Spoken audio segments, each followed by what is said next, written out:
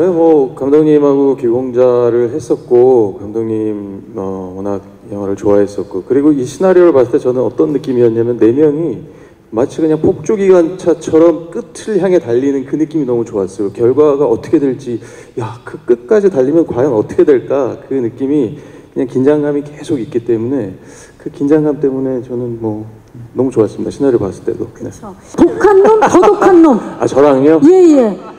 둘 다 저랑 하나도 닮지 않았습니다. 하나도 안 닮았는데 아 그 한의사는 정말 그 다혈질이거든요. 행동파 그리고 어 약간 그나마 폴 폴은 이렇게 조금 더 생각을 좀 해놓고 큰 판 짜놓고 이렇게 지시를 좀 내리고 자기는 좀 뒤로 살짝 빠지거든요. 그래서 그게 저랑 살짝은 비슷한 것 같습니다. 살짝은 닮았죠. 몸을 거의- 직접 안 쓰니까. 어. 네.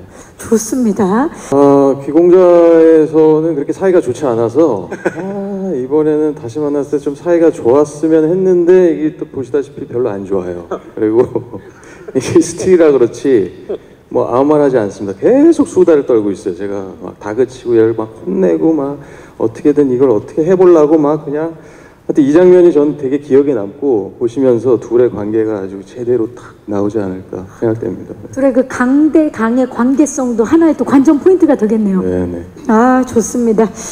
자 이렇게 세 가지 키워드를 통해서 폭군의 다채로운 관전 포인트들 먼저 알아봤습니다. 자 지금 이제 흥미진진해지고 있는데요. 이 뜨거운 분위기를 이어서 폭군 캐릭터